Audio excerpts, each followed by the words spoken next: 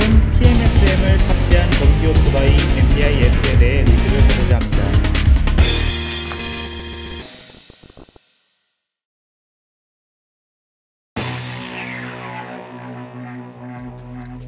드디어 한국 시장에 상륙했습니다. MDI 전기 오토바이 MDI-S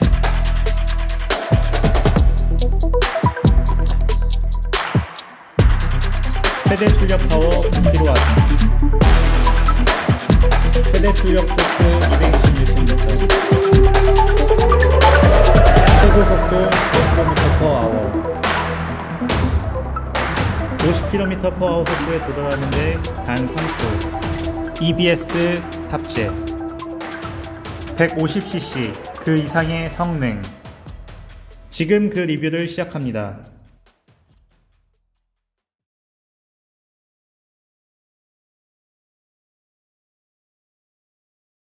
먼저 MBIS의 파워트레인에 장착된 PMSM에 대해서 간략하게 설명드리겠습니다.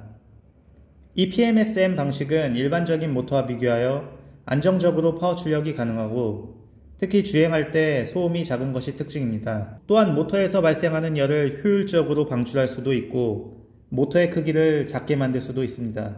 아, 참고로 PMSM은 테슬라의 테슬라 모델 3, 닛산의 닛산 리프와 같은 유명한 전기 자동차에도 적용되었죠. MBI S의 핵심 사양은 9kW의 최대 파워, 220Nm의 최대 토크, 그리고 100km/h의 최고 속도입니다.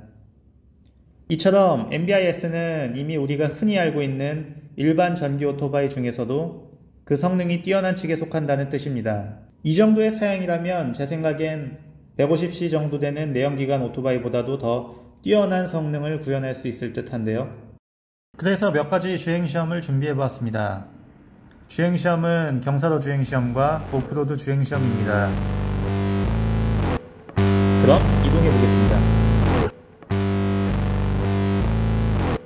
경사도 주행 코스에 도착했네요. 짧은 거리긴 한데 꽤 높습니다. 그리고 거칠면서 미끄러운 재질의 지형이기 때문에 쉽지 않은 코스인 듯 합니다. 그리고 여기 하나 더, 저 혼자 오르면 난이도가 쉽기 때문에 추가로 성인 남성 2명을 뒤에 태우고 오를 겁니다. 차량 탑승자의 무게만 250kg 정도 되겠네요.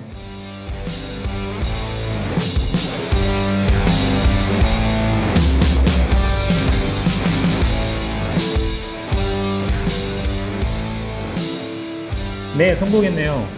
보셨나요? 이게 바로 전기 오토바이의 매력 중 하나입니다. 순간적으로 높은 파워와 토크를 생성할 수 있다는 점입니다. 물론 차량에 막대한 부하가 적용되었을 겁니다. 하지만 앞서 설명드린 것처럼 9kW의 최대 출력 파워를 낼 수 있는 차량이기 때문에 성인 남성 3명이 탔음에도 오를 수 있던 게 아닌가 싶네요. 그럼 계속해서 다음 오프로드 시험 장소로 이동하겠습니다. 여기가 바로 오프로드 시험 장소입니다. 바로 이어서 주행 시험을 시작하도록 하겠습니다.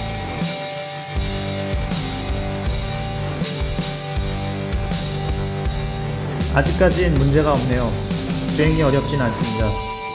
계속 타면서 드는 생각인데 150cc 내연기관 오토바이보다 더 강력한 주행력을 갖추고 있다는 게 느껴집니다. 조금 더 어려운 주행 코스로 이동해 보겠습니다. 그래도 안정적으로 달리고 있네요.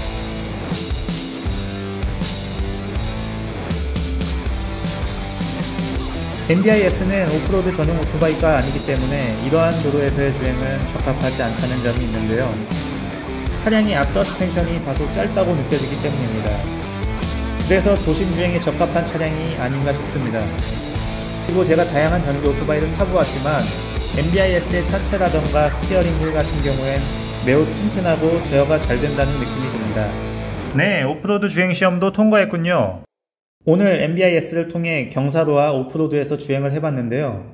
차량의 성능이 워낙 뛰어나서 리뷰도 재밌게 할 수 있었네요. 차량의 사양에 대해서 다시 말씀드리면 9kW의 최대 파워와 220Nm의 최대 토크를 출력할 수 있다는 점입니다. 굳이 한 가지 결점을 짚어서 말씀드리면 차량 앞휠의 서스펜션부가 짧다는 점입니다.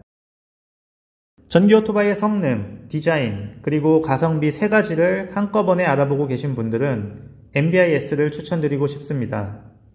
확실한 건 다른 일반 전기 오토바이 대비 상당히 높은 사양이라는 생각이 드네요. 오늘 리뷰는 여기까지 준비했습니다. 감사합니다.